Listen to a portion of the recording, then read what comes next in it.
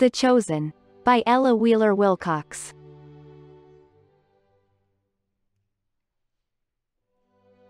They stood before the angel at the gate. The angel asked, Why should you enter in? One said, On earth my place was high and great. And one, I warned my fellow men from sin. Another, I was teacher of the faith. I scorned my life and lived in love with death. And one stood silent. Speak. The angel said. What earthly deed has sent you here today? Alas. I did but follow where they led. He answered sadly, I had lost my way. So new the country, and so strange my flight. I only sought for guidance and for light. You have no passport? None, the answer came.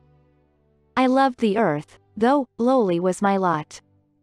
I strove to keep my record free from blame. And make a heaven about my humble spot. A narrow life, I see it now, too late. So, angel, drive me from the heavenly gate. The angel swung the portal wide and free. And took the sorrowing stranger by the hand. Nay, you alone, he said, shall come with me. Of all this waiting and insistent band, of what God gave, you built your paradise. Behold your mansion waiting in the skies.